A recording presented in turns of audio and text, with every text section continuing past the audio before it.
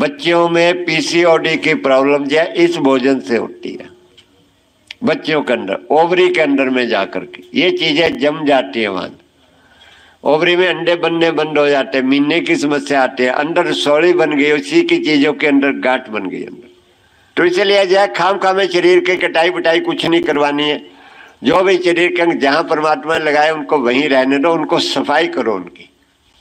तो क्या करना है गुरु क्या करना चाहिए उनके? अब उसके लिए पहले तो आप दो तीन दिन तक अनाज दालें दूध और दूध से बनी चीज़ें बंद करो दो तीन दिन के लिए। ठीक है ठीक है। हाँ और यहाँ से नीम गुलक काढ़ा ले जाओ डेली नीम गुलक काढ़ा पियो दिन में एक बार दो बार।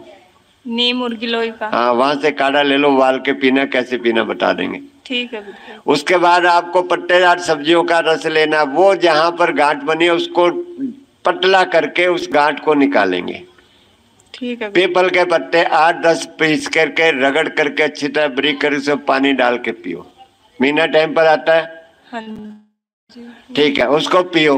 हाँ जब ये चीज़ें पियोगे बटुए का जूस नहीं बना करके धनिया का जूस बना करके जब रोज पियोगे गाजर चुकंदर का सहजन के पत्ते मिल जाए तो सहजन के पत्ते का रस। ठीक है। इतने सारे पत्ते लेकर पीस के बना करके पियो। सहजन। हाँ सहजन का वो पेड़ लगा हुआ वहाँ। उसके पत्तों का रस जब पियोगे बना करके तो जितनी भी अंदर में गांठ बनी है ये चीज़ें कुड़कुट जमा हुआ अंदर में। ये थोड़ा थोड़े टुकड़े टुकड़े करके निकलेगा। ठीक है ठीक है? कुछ दिन तक हो सकता है ब्लीडिंग भी हो उसकी घबराना नहीं है चिंता नहीं करनी। ब्लीडिंग उसमें गंदी खून जो जमा हुआ वो बाहर निकलेगा उसको निकलना है। ठीक है सारा छोटे छोटे टुकड़े टुकड़े बनकर के रसोड़ी के बाहर निकल जाएँगे सारी को निकल जाए। जब निकल जाएँगे सफ़ाई हो जाएगी तो आपका काम हो गया।